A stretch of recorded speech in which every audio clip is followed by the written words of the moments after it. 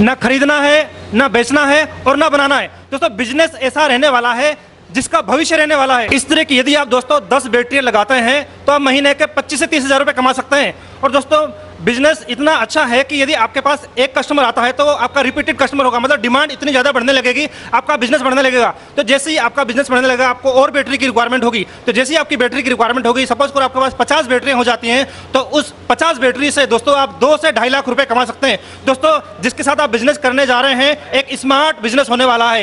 एक स्मार्ट तरीके से आप इस बिज़नेस को कर सकते हैं और बैटरी स्मार्ट के साथ जुड़ के आप लाखों रुपए कमा सकते हैं। तो दोस्तों, यह जो बैटरियाँ हैं ये कोई आम बैटरी नहीं है। ना कभी ये खो सकती है और ना कभी ये चोरी हो सकती है। पहली फ़र्स्ट ऐसी कंपनी होगी, एक बहुत बड़ी कंपनी होने जा रही है, जिसका जो नाम है, दोस्तों बैटरी स्मार्ट इस तरह का आप भी आउटलेट खोल सकते हैं। दोस्तों, बहुत ही डिफरेंट बिज़नेस होने वाला है और बहुत ही मतलब धमाकेदार जिसको मैं बोलता हूँ, इस तरह का कॉन्सेप्ट होने वाला है। जैसे कि आप देख सकते हैं मेरे पीछे, इस तरह का मतलब फुटफॉल हमेशा यहाँ पे बना ही रहता है और बहुत सारे यहाँ पे कस्टमर लोग आते रहते हैं और इस तरह का कंप्लीट सेटअप आप भी लगा सकते हैं।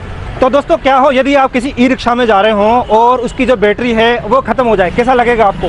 तो दोस्तों, जहाँ पर प्रॉब्लम होती है, वहीं पर सोल्यूशन होता है और उसी का नाम बिज़नेस कहलाता है। तो दोस्तों, जैसा कि आप देख सकते हैं, यहाँ पर इसी तरह से हमेशा फुटफॉल रहता है और आप भी अपने एरिया में अपना एक स्टेशन लगा के वो भी जो फुटफॉल है, आप क्रिएट कर सकते हैं। तो चलिए, किसी एक से हम जानकारी ले लेते हैं कि जो इनके कस्टमर्स हैं, वो सेटिस्फाइड हैं बैटरी स्मार्ट के साथ जुड़ के। बैटरी स्मार्ट से कितना टाइम हो गया आपको जुड़े हुए?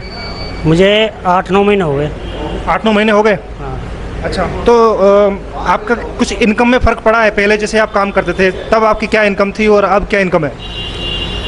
पहले सात सौ आठ सौ का काम होता था अब बारह सौ तेरह सौ का हो जाता है काम आराम से। अच्छा पहले सात सौ आठ सौ रुपये का होता था अब बारह सौ रुपये के आसपास हो जाता है। तो यहाँ पर कितना टाइम लगता है? मतलब एक दो घंटे लग जाते हैं या फिर हाथों हाथ काम हो जाता है? हाँ पाँच मिनट में मिल जाती है बैटरी पाँच दस पाँच सात मिनट। अच्छा सिर्फ़ बैटरी बदलनी होती है। किसी तरह की और दिक्कत कोई परेशानी? नहीं है अभी तो खुश हैं आप मतलब? हाँ। आप सारे लोग बैटरी ही स्वाइप करवाने आए हैं? हाँ जी। अच्छा बहुत अच्छा लगा आप लोगों से मिलकर। दरअसल मेरा था पहले ट्रांसपोर्ट का काम। साथ साथ मेरी रुचि बैटरी की तरफ़ हुई। बैटरी स्मार्ट से तो मैं इसलिए जुड़ा कि मुझे लग रहा था कि आने वाले भविष्य में ये लिथियम जो बैटरी चलेगी क्योंकि इसके सिवा और ऑप्शन ही नहीं है। ऐप के थ्रू सारा काम होता है। आपको केवल ये है उंगली चलानी है। मेरे पास बैटरी अवेलेबल है स्मार्ट का। मेरे को बहुत अच्छा लगा। काम जब रहेगी तो मैं काट पीट के हज़ार रुपया कहेंगे सर। दोस्तों हमारे साथ जुड़े रहने के लिए इस वीडियो को लाइक कीजिए चैनल को सब्सक्राइब कीजिए बेल आइकन दबाइए और कमेंट कीजिए। तो सर सबसे पहले आप अपने बारे में बताइए और आपकी कंपनी का नेम बताइए प्लीज़ मेरा नाम अनुज है और मैं बैटरी स्मार्ट का रिप्रेजेंटेटिव हूँ। तो सर आपकी कंपनी ने क्या सोच के इस कॉन्सेप्ट को रेडी किया? आपको पता होगा कि भारत सरकार ईवी के एडॉप्शन के लिए बहुत ज़्यादा इनिशिएटिव ले रही है बहुत सारी नई नई पॉलिसीज़ लेके आ रही है बहुत सारे इंसेंटिव्स प्रोवाइड कर रही है।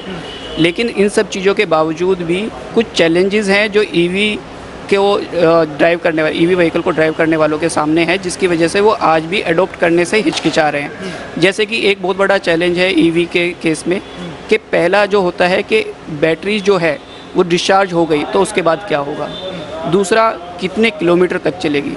तीसरा ये होगा कि चार्जिंग में टाइम ज़्यादा लगता है। और चौथा हो जाता है कि आपका जो बैटरी रिप्लेसमेंट का कॉस्ट होता है, वो बहुत हाई होता है।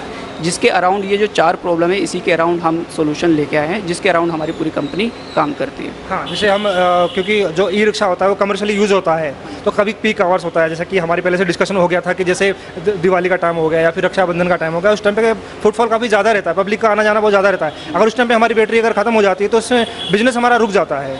तो उसका सोल्यूशन के लिए आपके पास जो ये नेटवर्क है अभी तक मतलब कितने नेटवर्क होगा आपके पास कितने आपके साथ पार्टनर लोग जुड़ गए होंगे? तो अगर मैं दिल्ली एनसीआर की बात करूँ तो हमारे पास दिल्ली एनसीआर में 250 से ज़्यादा स्टेशन हैं। जिन स्टेशन पे जाकर के मेरा ई रिक्शा का जो ड्राइवर है किसी भी स्टेशन पे जाकर के अपनी डिस्चार्ज बैटरी दे करके चार्ज बैटरी ले सकता है। तो मतलब ये क्या होता है? मतलब उसके लिए कुछ वेट करना पड़ता है चार्जिंग के लिए फिर हाथों हाथ मिल जाती है वो? नहीं ये चार्जिंग के लिए हमें कोई भी वेट नहीं करना। बेसिकली जो ड्राइवर होता है उसको चार्जिंग नहीं करनी होती। उसको सिर्फ़ अपनी बैटरी चेंज करनी होती है चार्ज बैटरी के साथ। जिसमें चेंज करनी होती है। हाँ जिसमें कि हार्डली दो से तीन मिनट का टाइम लगता है। अच्छा तो जो उनकी जो पहले वाली बैटरी होती है उसका क्या करना पड़ता है? तो पहली वाली जो बैटरी है जो डिस्चार्ज लेके आए हैं वो हमारे स्टेशन पे आकर के चार्जर के साथ चार्जिंग पे लग जाती है। जैसे ही वो चार्ज होती है वो दूसरा कोई ड्राइवर जब अपनी डिस्चार्ज लेके आता है उनको हैंड ओवर कर दी जाती है। बैटरी स्मार्ट की बैटरीज में और ड्राइवर के पास जो एसिड वाली बैटरी होती है उनमें क्या फ़र्क होता है? तो जो अगर मेरा कोई ड्राइवर है जो आज तक मेरे साथ नहीं जुड़ा मेरे नेटवर्क पर नहीं आया है उस केस में अगर वो बैटरी जो ज़्यादातर केसेस में एसिड बेस्ड बैटरी वो लोग यूज़ करते हैं। एसिड बेस्ड बैटरी की प्रॉब्लम्स कुछ होती हैं जैसे कि एक प्रॉब्लम हो गई कि उनका वेट बहुत ज़्यादा होता है। हाँ।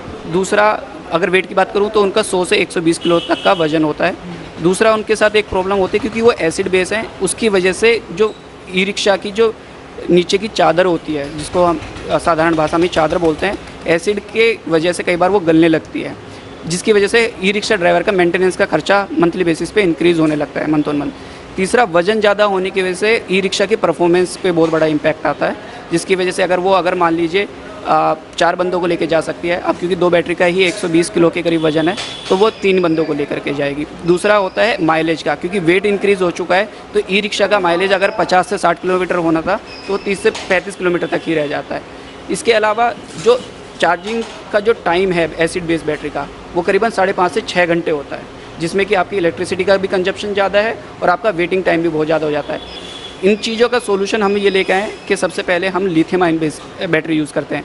जिसका सबसे बड़ा फ़ायदा ये होता है, एक तो वो हल्की होती हैं, जिसकी वजह से माइलेज और परफॉर्मेंस ई रिक्शा की दोनों अच्छी होती है। इसके साथ साथ जो एक चार्जिंग का जो इशू था तो हमारी जो चार्जिंग बैटरी को चार्ज करने में दो से ढाई घंटे लगते हैं। और वो भी मेरे ड्राइवर को चार्ज नहीं करना वो हमारे किसी भी स्टेशन पर जा करके डिस्चार्ज बैटरी देगा वहाँ से चार्ज बैटरी उठाएगा जिसकी प्रोसेस में मुश्किल से दो से तीन मिनट लगता है। तो आपके साथ कौन कौन लोग जुड़ सकते हैं काम करने के लिए? उसके लिए वर्क इस एरिया वर्किंग एरिया कितना चाहिए? और किस किस जगह पर इस काम को किया जा सकता है? जो भी कोई भी इंसान अपना एक पैसिव इनकम चाहता है या एक एक्टिव इनकम चाहता है नई इनकम चाहता है जिससे कि वो अच्छा रिटर्न पा सके, वो हमारे साथ जुड़ सकता है। वो कोई भी हो सकता है, वो एक ई रिक्शा चलाने वाला खुद भी हो सकता है ई रिक्शा बेचने वाला भी हो सकता है पार्किंग वाला ओनर भी हो सकता है, एक नॉर्मल मैकेनिक भी हो सकता है, कोई भी हो सकता है, या एक वर्किंग प्रोफेशनल जिसके पास कुछ कैपिटल है, जिसको वो इन्वेस्ट करके कुछ नया बिज़नेस चालू करना चाहता है, जिसमें उसको इवन एक्टिवली इन्वॉल्व भी नहीं होना, वो तो भी जुड़ सकता है। तो ये जो हमारा सिस्टम है, जैसे कि आपने बताया कि एडवांस टेक्नोलॉजी के साथ लेस है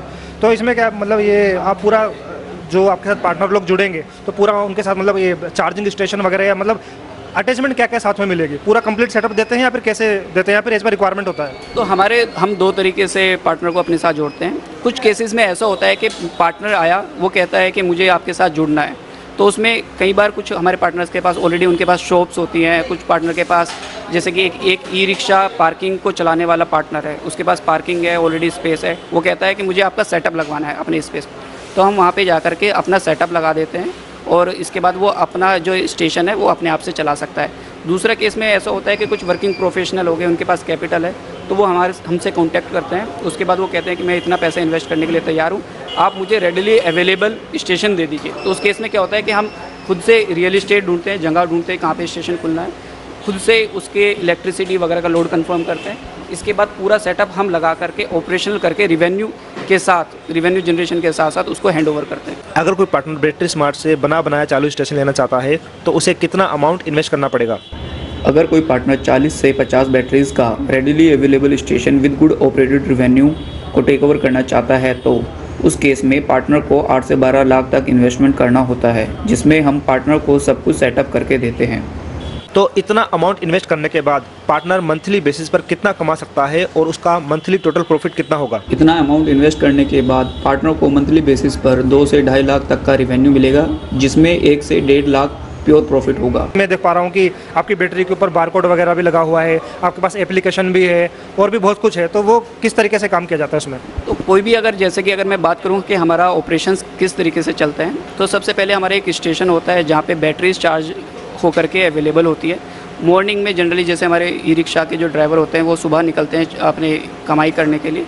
तो वो हमारे स्टेशन पे आते हैं, अपनी जो पिछले दिन की डिस्चार्ज बैटरी है, वो दे करके चार्ज बैटरी ले करके जाते हैं।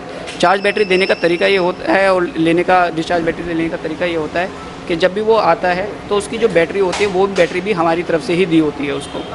अब उसमें क्या होता है, हर बैटरी के ऊपर एक यूनिक क्यूआर कोड होता है। जिसको स्कैन करके मेरा जो स्टेशन चलाने वाला ऑपरेटर है, उसको स्कैन करता है, जिससे हमें ये पता चल जाता है कि ये इस ई रिक्शा ड्राइवर ने हमें ये वाली बैटरी हैंड ओवर की है। और जब वो, जो बैटरी वो उसको दे रहा है, उसका भी एक यूनिक क्यूआर कोड होता है, उसको स्कैन करके वो रखता है, जिससे कि हमारा एक डिजिटल रजिस्टर मेंटेन होता है कंपनी के डेटाबेस में, कौन सी बैटरी कहाँ से आई, कौन सी बैटरी कहाँ पे गई, ये हमारे पास डिजिटली रिकॉर्डेड होता है। तो आपके साथ जुड़ने के लिए क्या करना पड़ेगा? मतलब फ़र्स्ट स्टेप क्या है? तो हमारे से जुड़ने के लिए आप हमारी वेबसाइट है W W dot battery smart dot in उस पर जा कर के आप एक, हमारा एक फॉर्म है, जिसका लिंक मैं आपके साथ शेयर कर दूँगा। उसमें जा करके अपनी बेसिक डिटेल्स जैसे कि आपका नाम, आपका मोबाइल नंबर आपका एड्रेस कौन सा है, जहाँ पर आप स्टेशन खोलना चाहते हैं और इसके साथ साथ कि आपका इन्वेस्टमेंट कितना आप करना चाहते हैं, ये आप हमारे साथ शेयर कर सकते हैं। तो दोस्तों, यदि कोई भी जानकारी मिस हो जाती है तो सामने दिए नंबर पर आपके माइंड में कोई भी क्वेश्चन है तो इनसे क्वेश्चन कर सकते हैं और इनकी वेबसाइट का जो लिंक है, इसी वीडियो के नीचे डिस्क्रिप्शन बॉक्स में आपको मिल जाएगा। तो मिलते हैं दोस्तों इसी तरह के और इनोवेटिव बिज़नेस क्लास में। Thanks for watching have a nice day हर बार की तरह जय हिंद और जय भारत।